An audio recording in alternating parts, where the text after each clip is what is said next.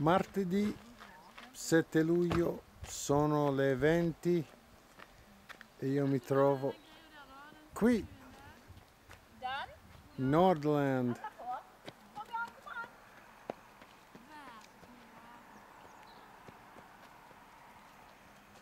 Sulla E6